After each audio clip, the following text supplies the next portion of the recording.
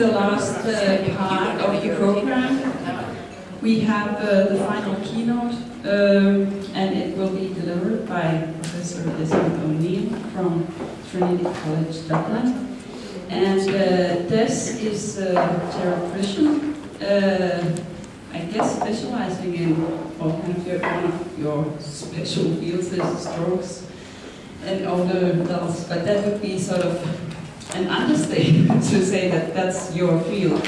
I just, this morning I forwarded you a, a queer theoretical paper that was citing this is analysis of James, James Bond uh, Skyfall. So that maybe gives you some idea of the breadth of, of, the, of this interest.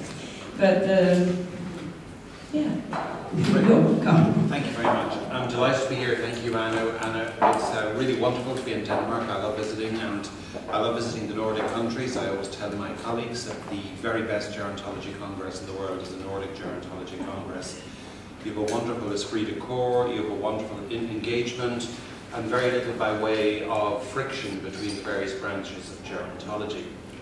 So hope what I'm not talking about today isn't totally, totally old hat to you, but I think it is very important that we as geriatricians and gerontologists think hard about aging and about our own aging and where we fit in in terms of society and values and attitudes.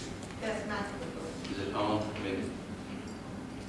Good, okay. and uh, being Irish, we tend to speak very fast, so if I speak too fast, somebody make a signal to go slow, more slowly. But you're all, we're all time impoverished here. We're balancing work, we're balancing family, academia. And one of the more interesting um, calculations around the increased longevity we have compared to our grandparents is that compared to them, with the increase in longevity, we've actually been given a 29 hour day if we have the same lifespan. We've been given an extra five hours a day. So for time impoverished people, what a gift. Now obviously, we've been giving it later on, it's like higher purchase, but it is a very, very important thing to remember is this gift we've been given. And yet there's a, a deep-seated ambivalence in society about it, and there actually is, I would contend, among ourselves also an ambivalence about what aging means for each of us.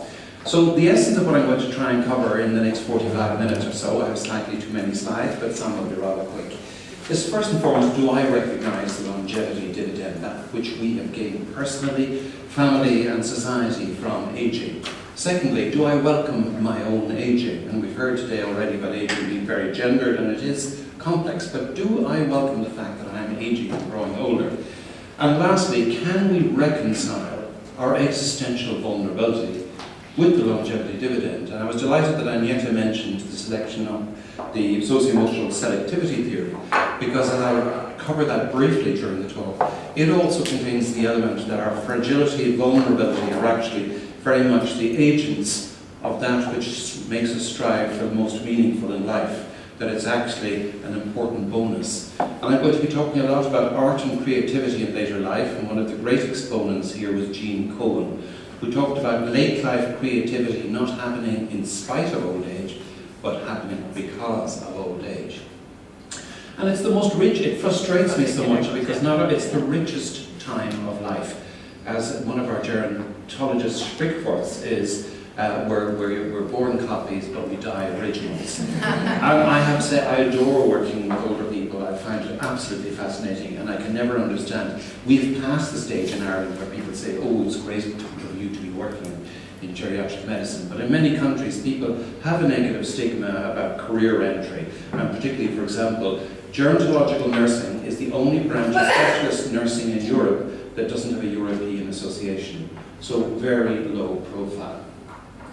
So this, unfortunately, is the classical societal response to aging. So this appeared in English and Irish newspapers, and in a word it says this resistance to age-denying, age-defying.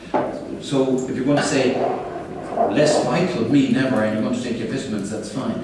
But this encapsulates really the tolerance we have of negativity towards aging. And it comes out in much more uh, worrying forms. We've published a paper in the BMJ about ageism in The Economist. So The Economist is the weekly newspaper most widely read in parliaments around the world by people who make laws and change policy. And it's unremittingly negative. This cover in particular uh, uh, troubled me because I'm going to talk about the economic longevity dividend, but it's untrue on two counts. First and foremost, not thanks to oldies, the world's economy isn't threatened and China's prospects are stagnating. But even more worrying is that that's nice, that dear, as if older people don't care. And in fact, if you look at studies around recycling and the green um, movement, it's actually older people who are better at recycling than younger people. They do care what they're leaving behind. And much of this falls back to the man who coined ageism, and these words still remain true, Robert N. Butler, an extraordinary polymath and geriatrician. I was delighted to get to know him towards the end of his life. But that the tragedy of old age is not that each of us must grow old and die, but the process of doing so has been made unnecessarily and at times excruciatingly painful, humiliating, debilitating, and isolating through insensitivity, ignorance, and poverty. And again, these issues still remain. So we've got a problem around how we view and construct aging. And this, where my particular area of interest, I'm guilty of, as Anu was perhaps kindly saying, of academic promiscuity. So I range over a range of subjects, but my particular interest is around medical humanities, and, and particularly a branch called cultural gerontology. And I think one of the sparks of cultural gerontology comes from a famous quote by T.S. Eliot, that for every issue in life there were two responses. The first one is what are we going to do about it? So I'm in the caring profession around older people. For the first 15 years of my career I had to learn the techniques. But then you get into your 40s and you begin to think, what does it mean and how does one relate to it? And I think they're the questions we have to start asking ourselves about aging. And this is where the art of later life, the art of the longevity dividend is twofold. The art itself is a metaphor, but we have to learn the art of talking up and diffusing the idea of the longevity dividend. And one of the interesting branches of gerontology that you may or may not be aware of that has arisen is that of cultural gerontology. Uh, again, the doyen of this is Julia Twigg. She's just published a book uh, a year or two back. And its definition is really very helpful. It's a broad and conflicting usage, usage a tendency, a field, with a central focus on meaning, a desire to transcend old paradigms and to bring a fuller, richer account to later years, redressing gerontology and geriatrics neglect. Because um, if one of the problems is in all of our disciplines, whether it's sociology, psychology, we are very often trapped by a version of what Michel Foucault called the medical gaze, and we tend to see it from our viewpoint. If your only tool is a hammer, everything looks like a nail. And this is about looking at aging through arts and humanities and literature and seeing what can we understand. So anytime I talk to the medical students, anytime I talk to the general public, I always start with this slide. And I say, when you ask me to talk about aging, I'm going to show you this artwork, which is the Tate Modern. It's three meters by three meters. It's vibrant, it's radical, it's a change of direction, and it's by an 83-year-old. And not only is it an 83-year-old, but it's an 83-year-old with bedbound and chairbound. And this issue of your vulnerability being an engine of change, Matisse had had an abdominal operation, something went wrong afterwards, he could no longer stand. His hands and eyes were fine, but he'd always been used to painting standing up. So he couldn't paint. He just found he couldn't sit down in bed. So he started doing his decoupage. And what's really interesting, when people talk about people being a financial burden in later life, uh, I'll come to Leonard Cohen in a minute and I'll explain that, but uh, if you have a tea towel, a mug, a reproduction, it's almost certainly from Matisse's later work, his uh, decoupage. Um, I put in the Lancet piece here not as part of a new illness called RSP, relentless self-promotion, but actually to say that the literature is really interested. The Lancet is the second highest rated medical journal, and they are interested in issues like this. But high art is not necessarily for everybody, and once you start looking for the longevity dividend, you can find it everywhere. So you go to cinema and you find Gran Torino with Clint Eastwood at 78, fantastic director, but also a fantastic portrayal of later life where he's actually not the cutest, cuddliest person in the world, but does the right thing. And talking about technology, there's a wonderful piece where his awful son and daughter-in-law come with the idiot phone for him for a birthday present. It's fantastic. It's a real red flag around uh, technology and aging. Music, Leonard Cohen, But maybe you liked his early stuff like Suzanne and Marianne, but his late stuff was truly fantastic, self-reflective, humorous. And when people say a burden, I say, well, it's not too bad to make $9.3 million on your tour when you're 73.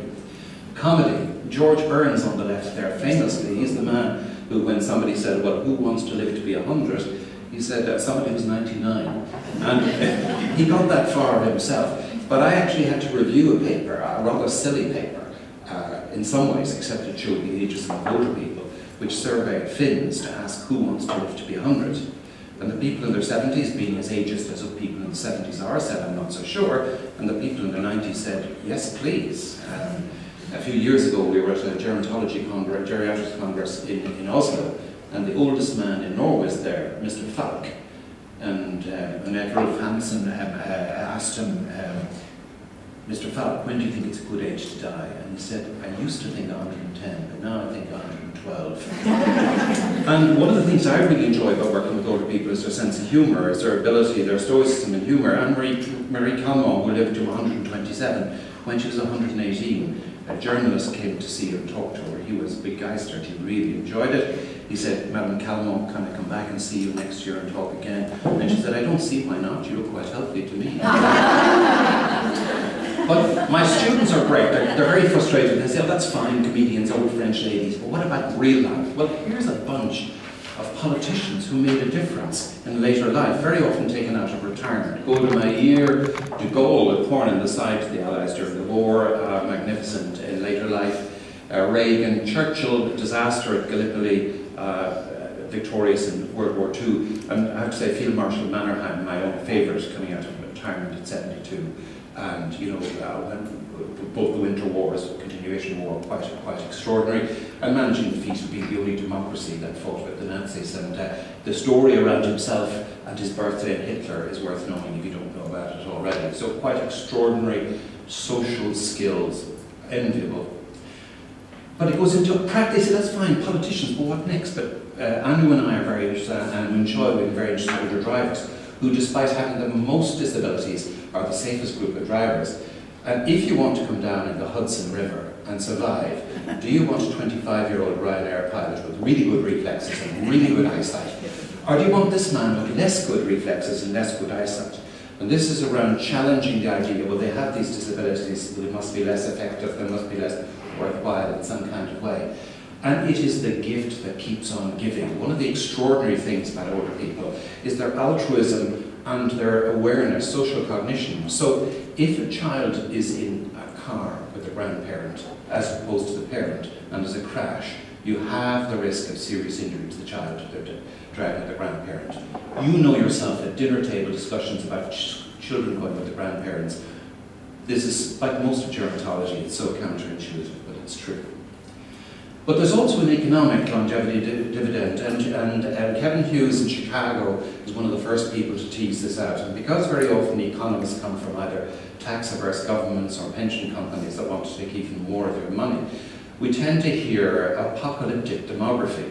But in fact, Kevin Hughes has shown that 3.2 trillion a year to the US economy, bonus of 1.3 million for each US citizen, and uh, UCL in London have repeated the study and they reckon that the aging has brought 40 billion extra to the UK economy, everything from inheritances to changing work patterns.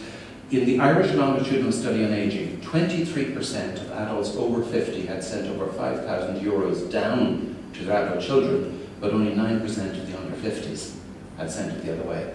So the danger is we allow ourselves to be sucker punched into this area here. And again, Axel Börsch-Supan, running Share, which Karen is uh, the medical, had been the medical lead on, uh, has these wonderful paper demolishing the myths of old age that necessarily implies declining living standards, the economics of aging is about the old, declining health limits the capacity to work at all older ages, retirement is bliss, older workers less productive, and keeping older workers creates unemployment in the all untrue.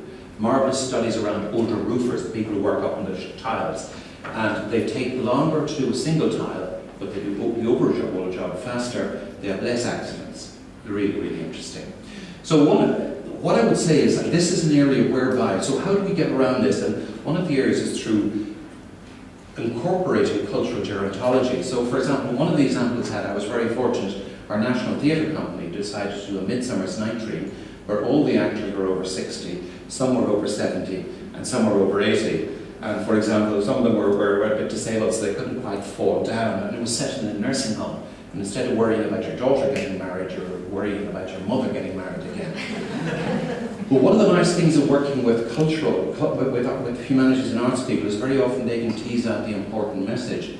And what I loved uh, around doing this work is that I wouldn't have put this sentence out, the editor did, is that once we glimpse the inner life and complexity of older people, we cannot retreat to a vision defined by their disability.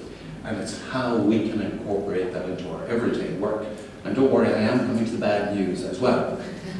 So whenever I go to a museum or an art gallery, I'm always looking for uh, late life creativity. So what might we find if we went to Denmark and looked for aging, apart from the right-hand side? Um, well, Hans Christian Andersen, the most incredible thing, he thought was the finest thing he'd written, that was written at the age of uh, 65. Uh, Karen Blixen at the age of 73, uh, Anecdotes of Destiny. Uh, Bertel Thorvaldsen, if I get that right, uh, at 74, quite extraordinary in a way. The genius of sculpture was one of his last pieces. Talk about leaving a fine testament of uh, later life. Uh, in the Skagen painters, Anna Ancher, what I particularly like about her later paintings into her 60s is with her husband there as well as an older artist creating and painting. So no matter where you, Jon Utzon, at the age of 87, with his son designing this wonderful uh, centre in Aalborg. So, and finally, although he was sometimes Danish and sometimes German, Emil Nolde and his Ungemalte Bilder in his late 70s, early 80s, extraordinary, extraordinary paintings. And Grundtvig, active to 89, still writing, quite extraordinary, impactful, current affairs, what with the Greek Revolution, quite, quite extraordinary. So you have this portfolio here of magnificent older creativity uh, in Denmark. All right, but the danger sometimes, some of you may know there's a famous American novel called Pollyanna, and Pollyanna is this girl, no matter what bad thing comes, she sees the silver cloud, light into the cloud, and she sees moral improvement. So we have to accept that our existential vulnerability is going to happen, most obviously, and uh, you know, statistically most likely during our later life. So give it to me straight, Doc. How many golden years have I got staring in the face? Well, what's really nice about it is the artists also give us insights and clues here. And this is something which I think again relates to the socio-emotional selectivity theory. And it also relates to a broader uh, theme in, in, in, in thought, Susan Sontag's illness as metaphor. And she has this lovely phrase that illness is the um, dark night side of life or more owner citizenship, we all hold dual citizenship. So where they, as the disability um, uh, sector now, they don't talk about the able-bodied, they talk about the presently able-bodied.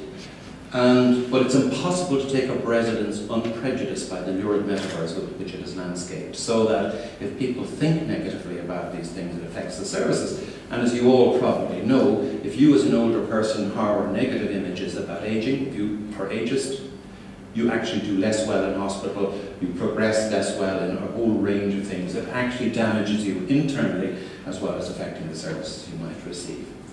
And the other area to turn to is particularly not only um, this, uh, and socio-emotional selectivity theory, but I direct you towards Martha Nussbaum, um, uh, her wonderful book, The Fragility of Goodness, where she explores how, uh, in terms of strength and trust and virtue, actually they're nearly all based on fragility. So um, uh, there is this constant theme that our fragility is important to us, it's important to be faced up to. And actually she explores it through Greek tragedy. And I'm also going to bring it through somewhat through the poetry of Thomas Tranströmer, who had a very major stroke which affected his speech and his ability to play the piano with the right hand, but he went back with his uh, left hand. But his poetry shows some of this impact of, our, of understanding our vulnerability and of bringing us closer to meaning of life and what, what we are. And again, I'm very mindful of the danger of being Pollyanna-like, so don't worry, I work all the time with other people. This is so one of the great places to start, and again, I have uh, put some references to this, and I'm happy for the slides to be distributed, just to show that the medicine is interested, the wider the wider community is interested. So one of the fascinating, so turn to older people and ask them about health and healthcare. So um, Dr. Seuss has written two books for older people. This is one for, for adults. This is one of them. His other one was about Lady Godiva. Um, but um, and he complained in his 80s that he had a number of illnesses and his social life had become confined to doctors. And what's really nice about this book is it shows the type of depersonalization and disempowerment that happens to older people when they go into hospitals. But he is telling us, I'm still here, with colour and humour. So it's utterly fantastic. A book for obsolete children. And even got into polypharmacy before we ever thought about it. It's truly wonderful. I take three blues at half past eight to slow my exhalation rate. On alternate nights at 9 p.m. I swallow pinkies for them. But Edvard Munch, his, one of his last portraits, self-portrait of the clock, is really quite extraordinary for the range of messages it gets. And this is where the arts and humanities allow us, they're very potent metaphors that allow us to see things at, at several levels. So on one point you can see a thin man on his own with a single bed. But actually there's bright colours that interest you, it's a great artwork, so he's asserting himself. You may notice that the clock has no hands, so where is the relativity of time? And the pictures in the background, many of them are of his conquests. So there is a life, sensuality, erotic memory. We're getting a a lot out of this painting. Goya, in his late phase, um, uh, one, uh, been to the Prado, as these dark paintings that are supposed to be indicative of depression, but we're getting human expression. And they are savage, they are dark, but the story continues. And this is the danger of defining people by their disability. His depression lifted, and he spent much of the rest of his life painting gorgeous translucent miniatures on ivory. And in fact, if you look at Tom Gill's work on the epidemiology of longitudinal studies on older people, it's not a straight downwards line. There's people that come back up when you to see them two or three years later. So again, it's not about an inevitability of decline. And who better to tell us than artists, and for artists have a very sharp, sharp eye. But then, uh, what's great, I have medical students are very feisty. They say that's all very well, prof, but, but what about life with dementia? And indeed here, again, I have to say I'm really, really interested in dementia. It's probably where I started. It's something that's been in my family that I'm fascinated by, and I'm fascinated by the internal life. And we have three wonderful metaphors for dementia, for creativity, that should impel us to look deeper and further. Um, um, uh, Kooning on the right um, is uh, the great Dutch American expressionist painting, painted extraordinary paintings, quite different in his early Alzheimer's. Uh, Terry Pratchett, um, the wonderful fantasy writer, developed a posterior version of, of Alzheimer's. He was a visiting professor at our university. He could still write by dictation, but he couldn't sign the dedication on a book. So it's about us supporting people that do this. And Ravel composed his Bolero and both his piano concertos while he lived frontotemporal dementia. And this is what the Wellcome Foundation in London, which is a big medical humanities centre, last year and this year has a focus on creativity to unlock um, what is inside, to understand, to make joy out of life with dementia. And one of the, uh, the people there Seb Crutch, who had this wonderful paper in the Lancet that sometimes a workman can play as tools. Because we're interested in medicine and narratives that people can tell us of their illness. But clearly with dementia, you get memory problems and language problems, so you can't write it down or tell it. So Molin is a very famous uh, portrait painter, and he painted self-portraits of his progression through dementia. And this is truly wonderful, and it actually reassures me as a physician that the nearly top-ranking journal in medicine wants to know about this. So take heart. There, there, there, there is a place and a space. And what's interesting about the paintings to me is although there's a degradation clearly in technical skills, they've all got an artistic integrity. They've all got something, they, they grab you, uh, they hold you. And again, I was talking about Thomas Tranströmer, and again, I think what was really interesting for me is how it's difficult for me as a doctor somehow to talk about people coming through on the other side and having learning more about themselves. So when the poet or the artist or the musician tells you. So after his stroke, he had this, these wonderful poems. He had a longish gap, and then took up playing the piano with the left hand. Indeed, when his um, Nobel Prize was awarded, they made a CD was of him playing the piano on the left hand. Some recordings of him speaking his own poems before the stroke, and then other people speaking the later poems, which are nearly all quite short, haiku-like, and uh, that he clearly is telling us about his journey through stroke in such a short, short poem. It's truly, truly wonderful. And again, I can leave you to, to, to read it yourself, um, where you catch a glimpse of the sun and hear the cherry trees humming. Truly, truly uh, fantastic. So, coming back to ourselves, because they say charity begins at home, so welcoming aging and the longevity dividend should begin with us. And I assume everybody here has a special interest in older people or would like to learn more. And one of the interesting things that strikes me is how little we as geriatricians and gerontologists write about aging. And, um, Moon Choi showed a copy of the gerontologist. I, I didn't add it in the slide, but I'll talk about it briefly in a minute. So this is from the first textbook of geriatric medicine by Ignatz Nascher. Now it's a fabulous book and there's lots of insights in it. But look how he describes aging. And do you think that's his aging? We realise that for all practical purposes that the lives of the aged are useless, that they are often a burden to themselves, their family and the community at large. Their appearance is generally unaesthetic, their actions objectionable, their very existence often an incubus to those in their humanity or duty take upon themselves the care of the aged. So, well, that was 1914. Have we improved? Well, the answer is somewhat, up to a point. So we did a survey in 2012. We're very fortunate, my library is able to get every book that's published in Britain and Ireland, and a lot of books in the US. And one of the things that bothered me as I read textbooks on aging is when we talk about normal cognitive aging, they only talk about the losses rather than the gains you make. Wisdom, altruism, social cognition, the things that make you not crash as an older driver.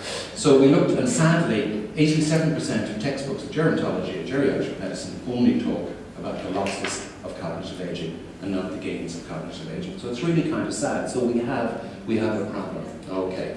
Here's uh, just one more example. Here's uh, uh, a paper from the New England Journal of Medicine where old age psychiatrists were saying how sad it was that people wouldn't join their profession because of ageism or whatever. But look how they describe aging. They talk about the underside of the silver tsunami, but there's no upside, there's no good thing about a tsunami. So if they think aging is a tsunami, don't be surprised that people don't want to come and join it, rather than saying, I have a different phrase that you might join when you're looking at recruitment. So we're going to have to change. There's very, very little published in a reflective point of view. Bill Hazzard the geriatrician in Seattle has written some really interesting things about aging, and Atul Gawande, in his book on being mortal, has one chapter which is about a geriatrician in a retirement home. It's a really nice metaphor. Otherwise, the gerontologist, we hardly talk about it. There was a special issue of the gerontologist about what aging meant, Um, and it was a heart-scalding disappointment. Because rather than the gerontologist saying, well, now that I'm 55, I'm really getting a mastery of my subject and I'm really enjoying it, and they all talked about the illnesses of their parents. It was actually depressing. It made you realize that actually, as gerontologists and geri geriatricians, people are actually almost certainly at best ambivalent about aging.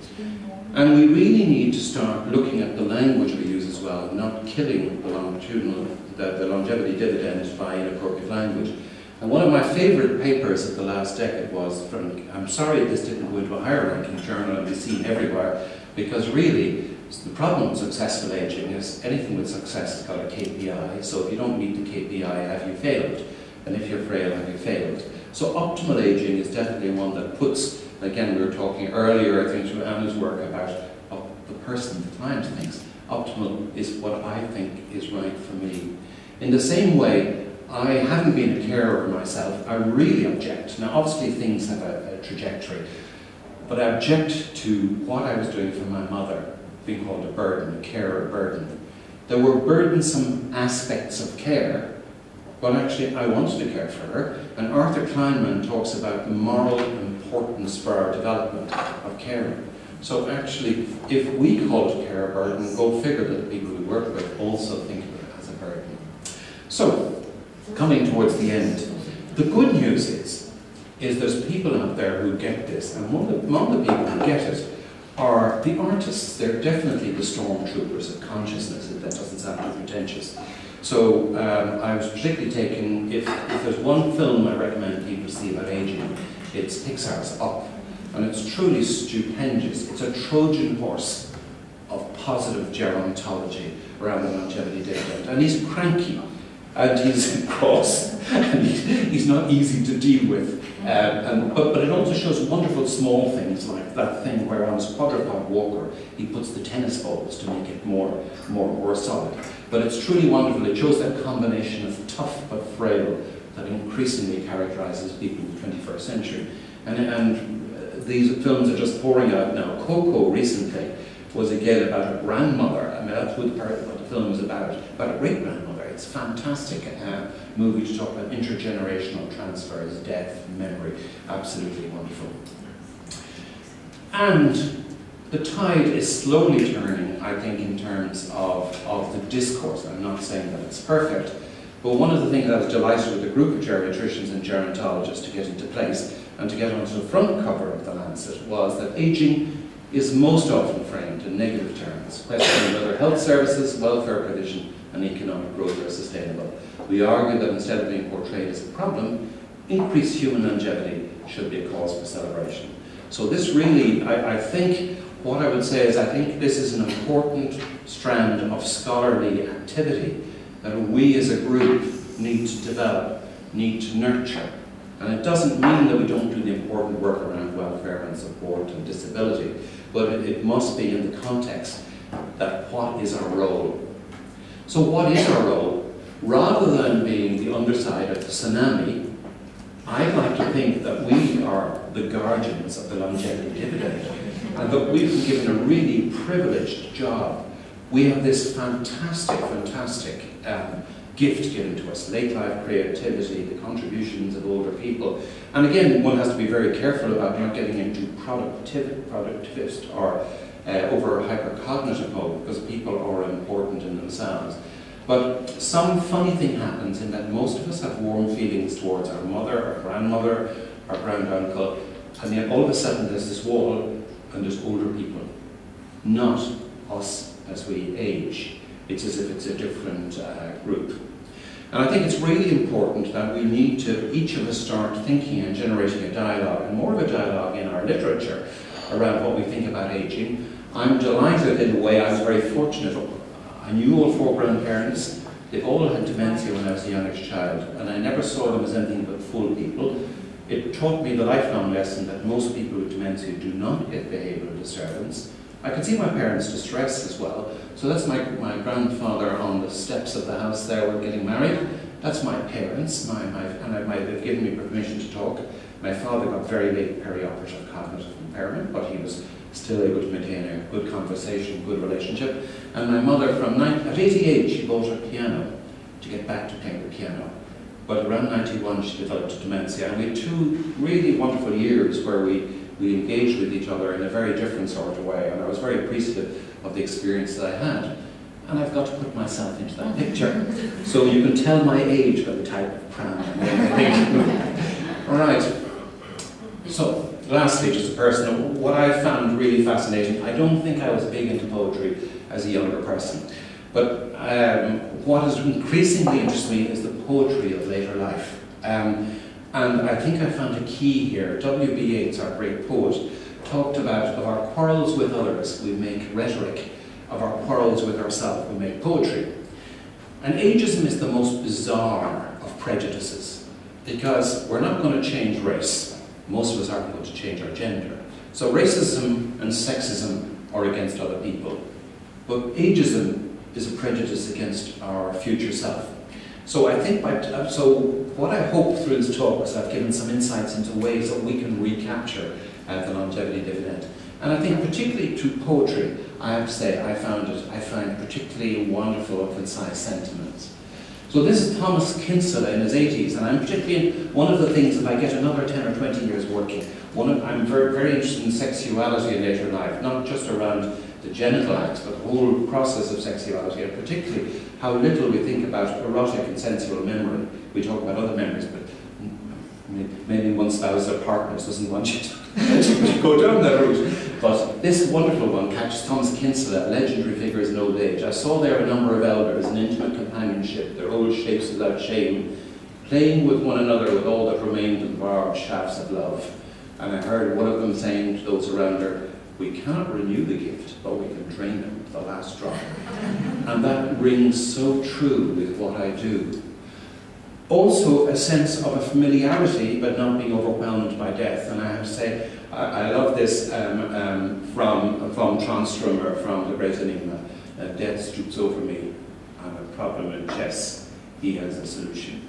It just it suggests an awareness, but not, not being subjugated and this is what I find hugely, one of the cliches I hate most in my practice is what older people want is quality of life, not over quantity of life. I have to say, they want both. Us as we age, we, we tend to want both. And finally, before I come, the Irish always have the last word in a dispute, sorry, argument, so I'll, I'll come to the last one of the Irish. But um, Czesław Miłosz has this wonderful poem on reaching his 90th age, which catches this simultaneous growth of loss not soon, as late as the approach of my 90th year, I felt a door opening in me, and I entered the clarity of early morning. One after another, my former lives were departing like ships together with their sorrow. And the countries, cities, gardens, the bays of seas assigned to my brush came closer, ready now to be described better than they were before. So coming to this issue of loss, I have to say um, Samuel Beckett was the great writer about the imperfection of language and how much slips between the cracks. That's what all his work is about, is that constant struggle to express ourselves through the, the frailties of language. So I love this quote. This would be my number one quote. I always thought old age would be a writer's best chance. Whenever I read the late work of Goethe or W.B. Yeats, I had the impertinence to identify with it. Now my memory's gone, all the old fluency disappeared. I don't write a single sentence without saying to myself, it's a lie. So I know I was right. It's the best chance I've ever had. Thank you.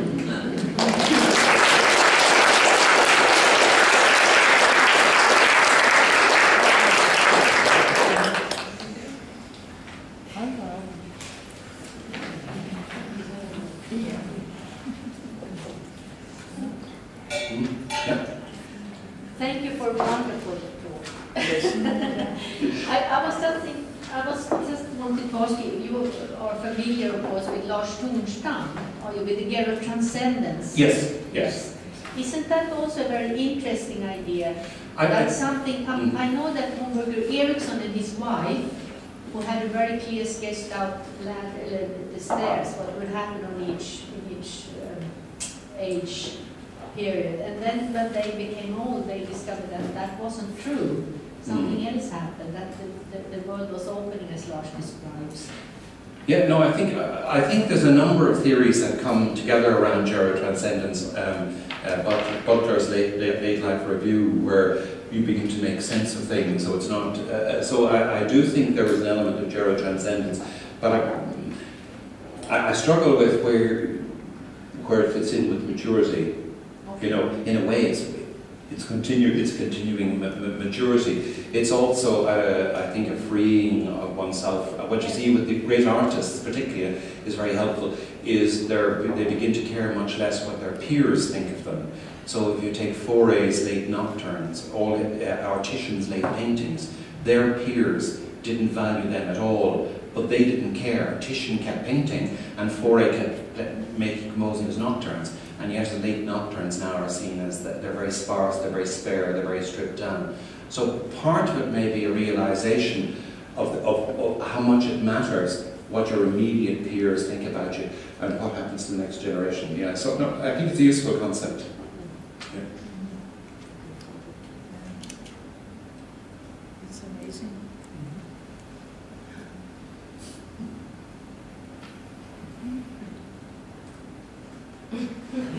And I'm not too fast.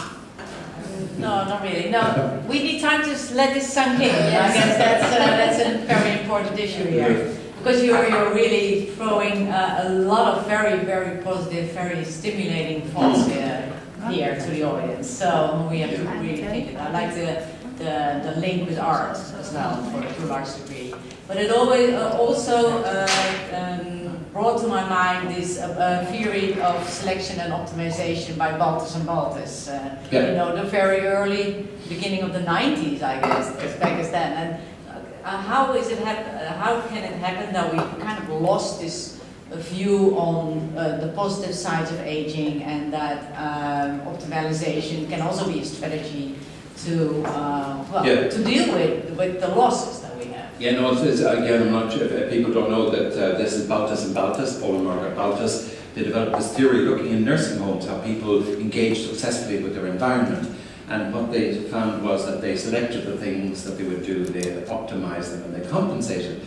But it spreads out in artistic life as well. Uh, one of the examples, and he said this before, he never met Paul and Margaret Baltes, but Arthur de Rubinstein, the great pianist, who um, continued playing into his 90s. Uh, when he was in his 80s, somebody asked him, uh, Herr Rubinstein, how come you continue to play so well? Well, he said, um, and he did selection optimization compensation without knowing he was doing it. Uh, he said, well, I select the pieces a bit more carefully now, so I don't play the really, really difficult ones. He says, I optimize, I practice much more in my 80s than I did when I was a young man in my 60s. but this is the genius of, of late life, and this is the sort of thing we just don't measure. In a lot of healthcare things, we talk about being salutogenic and, and measuring the positivities and what people can do, but we're still very disability focused.